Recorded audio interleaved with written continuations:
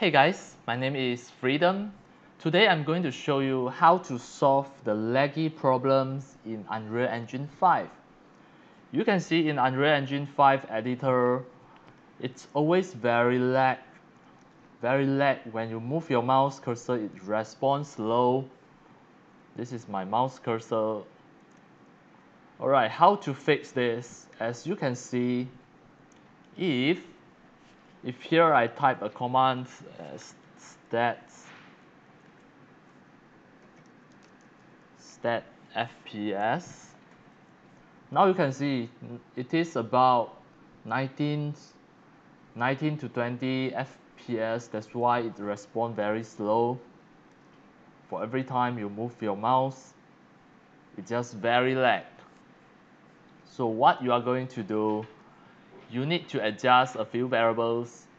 Just need to go to the project setting, click edit, go to the project setting,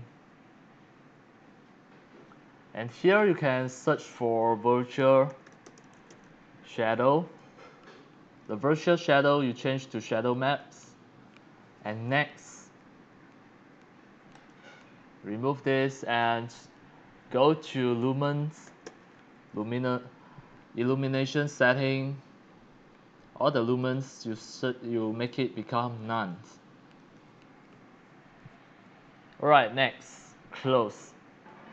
Now you can try to to have a look. Now it already increased to become more than 30 fps and one more setting that you are going to do is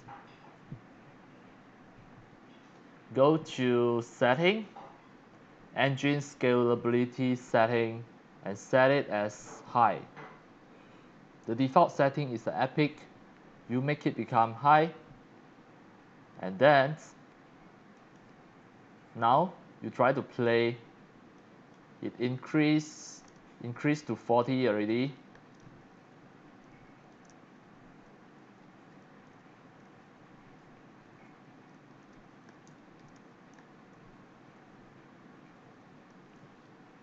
here the setting if you change to medium then it should be better. Now it is about 40 and 50 if you change the setting again make it become low. Now play Now it already up to 60.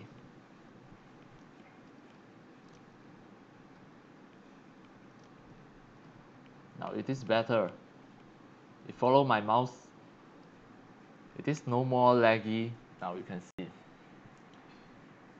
Alright, that's all for today about how to solve the lag graphic setting, how to solve the lag graphic problems for Unreal Engine 5 for low spec computer, if you are using the low end computer, you have to fix this so that this editor won't be so laggy.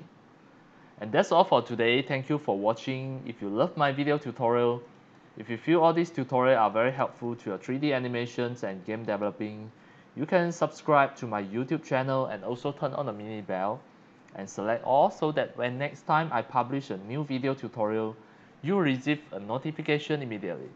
See you in my next video. Enjoy happy animation and game developing. See you.